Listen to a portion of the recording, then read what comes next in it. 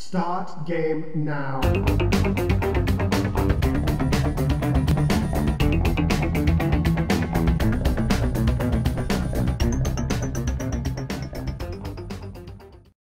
Welcome, retro fans, to another edition of the No Swear Gamer. Mario is back, and he's brought an early NES game.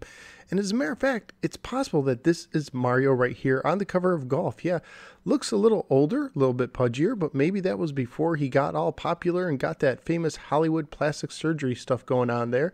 But yeah, I dig these early NES boxes, even though there's really not much to them, just pixelated art and a nice black background. Has some good screenshots on the back. And it says it's golf from Tee to Green. You've never played a golf game like this. Let's go ahead and pop this in my NES and find out if that holds up today. Let's go to the game. Golf on the NES was one of the black box launch titles that probably came out with the 1985 test market launch.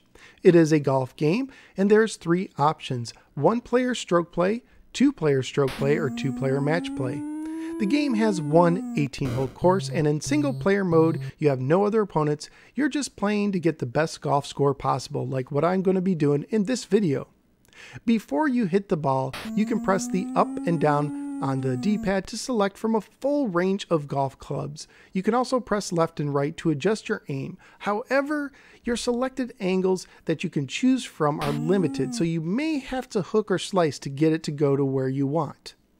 Hitting the ball uses the traditional but at the time groundbreaking three click method with using a swing gauge. So you press the A button to start your swing. When the gauge is at the amount of power that you desire, you press it again to start your downswing, and then you complete your swing when it reaches the white center by hitting the button again. If it stops to the left of the white center, you will slice it to the right. If you stop to the right of the white center, it will hook to the left. And if you hit it dead center, you'll actually get some extra length out of your shot.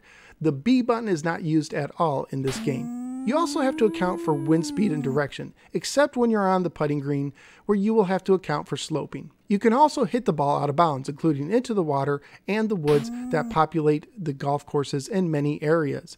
Graphically speaking, I thought this was a solid looking golf game, especially if you compare it to early golf games that came before it. And sound wise, while not spectacular, I still thought it was solid.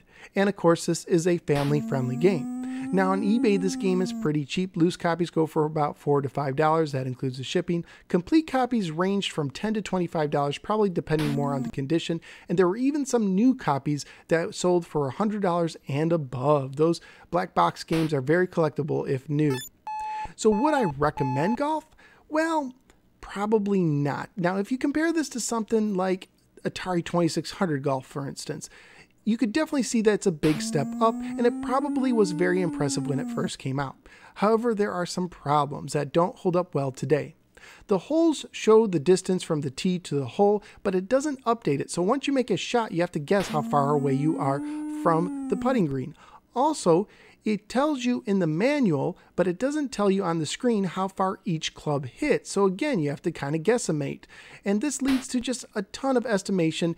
And for me, that meant that on some holes, I went well over par, just trying to figure out which club would work best and how far away I was, and sometimes getting frustrated with some of the out of bounds woods that were dead center in the course. Now, some holes I was able to get good scores on, and I can see how if someone really practiced the game, they could get used to these hangups. But the truth is, is there's definitely better games on the system, and a few changes would have definitely improved the game. So this is a game, for the most part, that I'm going to say pass. So where am I going to rank golf on the Nintendo Entertainment System? Well, on my list, I'm looking at baseball. I currently have it at number 17, and it also was an early black box sport game, but I found that one a little bit boring, and I actually enjoyed golf just a little bit more, so I'm going to put it just ahead of baseball in the new number 17 spot. Thank you guys for giving me a little part of your day. Don't forget you can check me out on Facebook and Twitter as well, and click those like and subscribe buttons. That would mean a lot. Thanks again, guys, and I look forward to seeing you next time right here on the No Swear Gamer. Take care, everybody.